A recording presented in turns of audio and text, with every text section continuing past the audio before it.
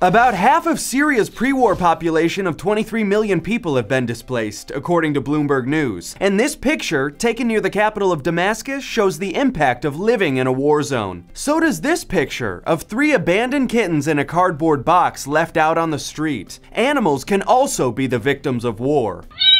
But saving them is the reason volunteers at the Syrian Association for Rescuing Animals stay in the war zone. According to a post on the group's Facebook page, the previous owner of the three kittens took them away from their mom because he didn't want to feed them. But fortunately, they were sent a new mom. Here's the happy family. The three abandoned kittens join Lulu, a lactating mama cat, and her kittens. The rescue group currently operates out of their own homes. They don't just focus on rescuing cats, but dogs too, by going out into the streets to feed them. They also post post before and after videos of the work they've done to get these animals cleaned up and into loving homes. The group's goal is to get a license from the government and build a shelter for animals in Damascus, which would be the first of its kind in all of Syria. I'm Sean Dowling for Buzz60. Now you know, pass it on.